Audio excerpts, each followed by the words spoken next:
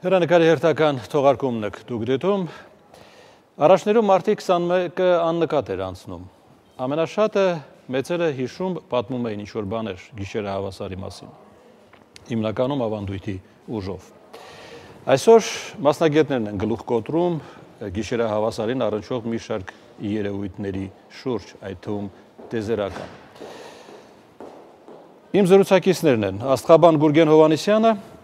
բարի երեկո, եւ Համլետ Հայրապետյանը Երևանի բժշկական կենտրոնի անհետաձգելի սրտաբանության բաժանմունքի վարիչ, բարև ձեզ։ Բարև ձեզ։ Սկսենք Աստղաբանից, տեսնենք ինչ է կատարվում տեզեր։ Մեծ հաճույքով օրը հավասարը մեր գլխավոր տոներից մեկն է եղել, մեր հայերիս։ Սա վերաբերում է նաև ամբողջ արիական ազգերին, հնդեվրոպական ազգերին։ Սկսած Հնդկաստանից մինչև հյուսիսային ազգեր, այսինքն սկանդինավյան երկրներ, Իսլանդիա, այս տոնը տոնել են տարբեր անվանումների։ Այսինքն մարտի 21-ը տոն է, ոչ թե անհանգստանալու օր։ Ոչ։ Ահա տոն է, սակայն անհանգստությունները կապված են նաև տոնի հետ կամ համընկել են ավելի ճիշտ։ Օրինակ սկանդինավյան ավանդություններում ինչ օրս նշվում է օրինակ կելտերի մոտ Օստարայի տոնը, որը նույն բնության զարթոնքն է եւ համընկնում է մարտի 21-ի հետ։ Իսլանդիայում նշել են Սիգ բլոտի տոնը, որը նույնպես ուժի եւ էներգիայի ակտիվացման եւ բնության արտնացման տոնն է։ Այսօր նրանք նշում են. Մենք նույնպես նշել ենք միջնադարում եւս դա պահպանվել է եւ ես կարծում եմ միգուցե պետականության կորստի հետևանքներ կամ մեր հարևան մուսուլման երկրների փոխառնություններ այս տոնի, որ մի փոքր խորթացավ մեր համար եւ այժմ կարծես նոր զարթոնք է իր մեջ ապրում։ Մարտի 21-ը Վահագնի ծնունդը, այսինքն։ Լավ, իսկ գիտականորեն ինչ է հայտնի մարտի 21-ի մասին։ Գիտականորեն սա կապված արևի, այո, արևի շրջապտույտի տարեկան շրջապտույտի հետ, այդ զոդիակային խաչը, որ կա եւ ընդունվում է նաեւ կրոնի կողմից, սա հենց այդ 4 կարևոր տոների հետևանքն է։ Օրահավասարներն են եւ արևագալները։ Ամառային, ձմեռային արևագալ, աշնանային օրահավասար եւ կանանային։ Կանանայինը այսօր է։ Եվ ինչն է մեզ անհանգստացնում այդ երևույթը։ Անհանգստացնելու երևույթի տոնի մեջ անհանգստացնելու ոչ մի ուրեմն առիթ չկա, սակայն սա կապված է արդեն գլոբալ փոփոխությունների հետ, տեզերական եւ երկրի հետ կապված։ Այօրինակ այսօր մենք ունենք հզոր կուտակում ստելիում խոյի նշանի տակ։ Արեգակը, Մերկուրին, Ուրանը եւ Յուպիտերը։ Սա նշանակում է, որ մեծ ազդեցություն ունի իր մեջ, մեծ ձևով ազդում է ամեն տարի նույն օրը։ Ոչ, կուտակումները շատ բավական հազվադեպ երևույթներ են եւ անհատական քարտեզի մեջ շատ կարեւոր դեր ունեն։ Իսկ սա արդեն գլոբալ մասշտաբի է վերաբերվում երկրին։ Ինչպես նաև դրան է գումարվել երկրի առանցքի փոփոխությունը, մագնիսական դաշտերի փոփոխությունը, որը բիոդաշտի վրա նույնպես ազդում է մարդկանց։ Նյարդային լարվածությունը շատանում է եւ սրտանոթային հիվանդությունների այդ քանակը կտրուկ աճում է։ Սա կապված է կներեք այստեղ դուք կան կարեք սրտանոթային հիվանդությունների մոտ կան կարեք։ Իսկապես մենք գանան այս շրջանում լուրջ անհանգստանալու տեղիք ունենք։ Դե Միգուցե այս տարին է ինչ որ բանով առանձնահատուկ, որովհետև ասում են լուսինը ամենամոտն է երկրագնդին եւ դա ինչ որ երևույթներ է հարուցում մարդկանց վրա ուղղակիորեն անդրադարձող։ Մարդկային օրգանիզմը ինքը բնության մի մասն է եւ չի կարող լինել իզոլացված, անջատված եւ իր վրա չկրել շրջակա միջավայրի, դիեզերքի,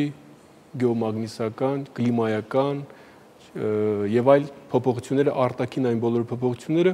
որոնք այս կամ այն չափով ազդում են օրգանիզմի ադապտացիոն համակարգի վրա, այսինքն օրգանիզմի ներքին կայունությունը պահպանող համակարգը ենթարկվում է որոշակի ստրեսի այս տարբեր ֆակտորների ազդեցության տակ այս ինժեների թեման ստրեսը բնությունը ինքն է որոշում, պիտի մատուցի թե ոչ։ Մարդու առողջությունից կախված չի։ Ոչ։ Դա արտաքին գործոններ են, որոնք բերում են ստրեսի ցանկացած օրգանիզմի մոտ։ Այլ հարց է, որ տվյալ օրգանիզմը ինչքանով է ադապտացված, ինչքանով է պատրաստ այդ ստրեսներին։ Դա կարող է լինել նույնիսկ աննկատելի ստրեսներ, դա կարող է լինել բնության, կլիմայական, եղանակային եւ այլ փոփոխություններ, որոնք բոլոր օրգանիզմների վրա ազդում են։ Մի բան է, երբ այդ օրգանիզմը հարմարեցված է, նրա ներքին կայունությունը պահպանող համակարգը կարողանում է փոփոխվել հարմարվել այդ ներքին արտաքին գործոններին եւ պահպանել իր օրգանիզմի կայունությունը։ Մեկ այլ բան, սա ֆիզիոլոգիական մեխանիզմ է, օրգանիզմ բոլոր օրգանիզմներում գործող ֆիզիոլոգիական մեխանիզմ է, որը ունի կոմպենսատոր բնույթ, այսինքն նա թույլ է տալիս օրգանիզմին հարմարվել արտաքին փոփոխվող պայմաններին։ Սակայն ժողովրդի լեզվով ասած կանանային սրացում կոչվածն է ես նկատի ունեմ բոլոր տեսակի գործոններ, դա լինի գառնանային սրացում, դա լինի կայծակ, դա լինի մտնոլորտային ճնշման կտրուկ փոփոխություն, դա լինի տեղանքի բարձրության փոփոխություն, ցանկացած արտաքին գործոններ ընդհանրապես ազդում են օրգանիզմի վրա եւ օրգանիզմը իր ադապտացիոն հատկությունների շնորհիվ ինքը կարողանում է հաղթահարել այդ արտաքին գործոնները, բայց որոշակի պայմաններում դա առաջին հերթին այս ադապտացիոն մեխանիզմների հյուծումն է օրգանիզմում, որը լինում է տարբեր քրոնիկական հիվանդությունների արդյունքում։ Օրգանիզմը արդեն չի կարող իրեն հարմարեցնել եւ նոր պայմաններում գոյատևել ֆիզիոլոգիական ձևով այսինքն առաջանում են պաթոլոգիական երևույթներ ախտաբանական երևույթներ այսինքն բաներ որոնք սրացումների ժամանակ են հայտ գալիս այո որոնք արտահայտվում են այդ արտաքին գործոնների ազդեցության տակ ստրեսների ժամանակ հիմա մենք այդպիսի օրեր ենք ապրում անկասկած կոնկրետ ինչով է գիտականորեն դա ինչ բացատրություն ունի բացատրությունն է, որ օրգանիզմը գարնանգալը ազդում է, ենթարկվում է, փոփոխվում է արտաքին միջավայրը, այսինքն փոփոխվում է եղանակային պայմանները, փոփոխվում է մթնոլորտային ճնշումը, փոփոխվում է գեոմագնիսական դաշտը, կոսմիկական ճառագայթների ակտիվությունն է փոփոխվում, տարբեր ֆիզիկական հատկություններ, երևույթներ կան, որոնք ազդում են անկասկած օրգանիզմի վրա։ Այլ բան է, որ մենք հաճախ դա չենք զգում, առողջ օրգանիզմը հաճախ դա չի զգում, սակայն հիվանդ օրգանիզմը, որի այդ հարմարվողական համակարգը ունակությունները հյուծված են, իհարկե նրա մոտ տեղի ունենում սրացում եւ ախտաբանական ռեակցիա այդ փոփոխությունների նկատմամբ, որը կարող եմ հաստատել պրակտիկ ձևով մեր գործնական աշխատանքում մենք վերջին երկու շաբաթվա ընթացքում ունենք ծանր հիվանդների մեծ հոսք ցավոք սրտի եւ ակամ կամա թե ակամա փորձից ելնելով մտածում ես որ իհարկե այս երևույթները կապված են արտաքին գեոֆիզիկական գործոնների հետ։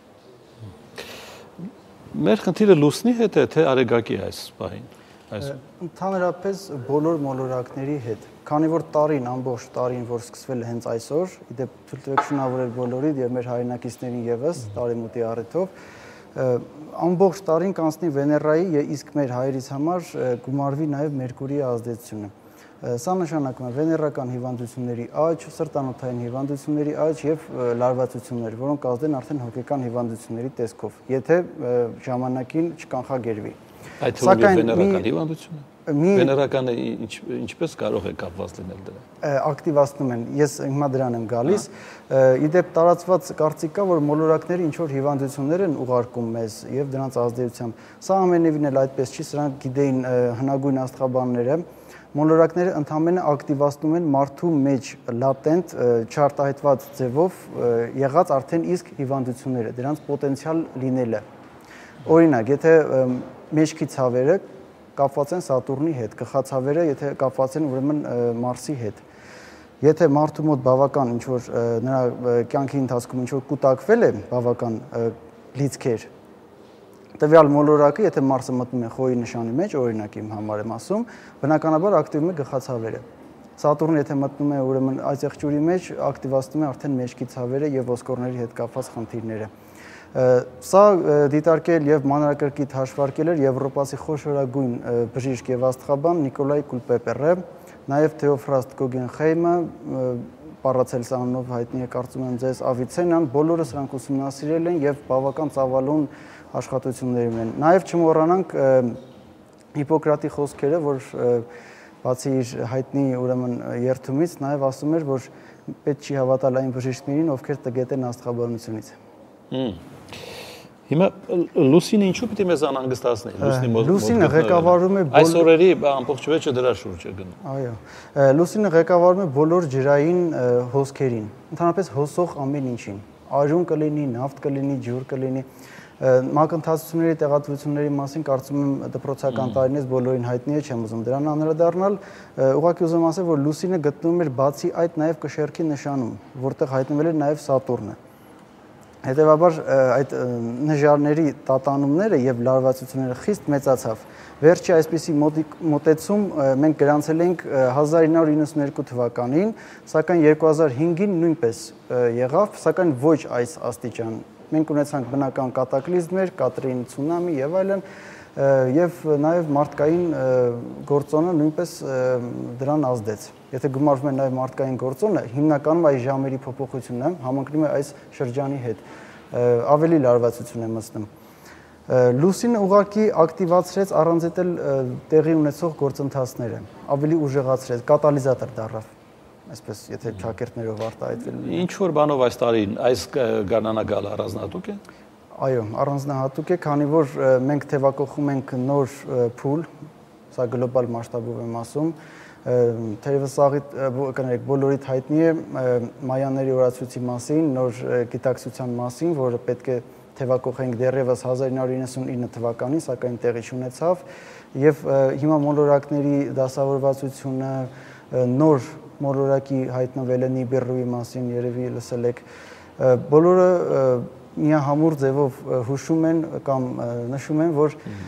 տեղի ունենալու գլոբալ փոփոխություններ, իսկ սրանք դրան նախորդող process-ներ են։ Բնական զրույցի առաջի մասը ավարտվեց, մեր գլուխը քիչ բաներով է ծանրաբեռնված, դուք էլ հիմա այնպեսի բաներով եք ծանրաբեռնում, կարող է շատերինը չդիմանա։ Չիմացությունը ամենամեծ ծանրաբեռնումը։ Համաձայն եմ, համաձայն եմ, բայց շատ բան իմանալն էլ այդ կամ չէ։ Կշարունակենք հենց այս կետից կարճադեպ դատարից հետո։